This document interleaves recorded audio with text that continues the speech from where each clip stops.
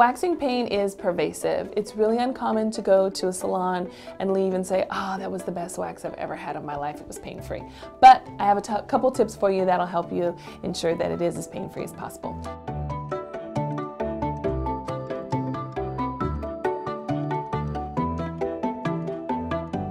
Once you get to the salon, let the person know that you're a little bit nervous so that they can help walk you through this. Um, it's really important to not get waxed on or right before your period. All of the fluctuating hormone levels actually increase the sensitivity of your body, the skin, even your nervous system, so that when they actually do the waxing, it's gonna be so much more intense and painful. So you don't wanna go around the time of your period.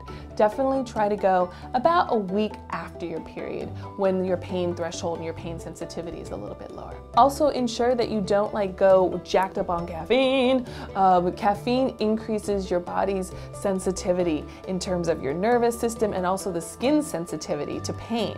One of the things that I really like to hydrate skin before getting waxed is diaper cream. Sounds crazy, but it's not just for babies.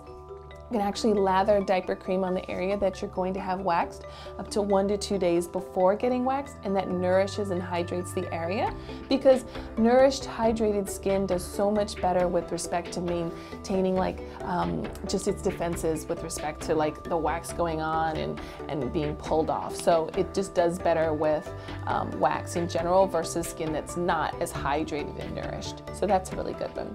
And then a good trick for when you're in there and they're getting ready to rip that wax off is to let the esthetician know, okay, before you do it, give me a second so that I can turn and cough.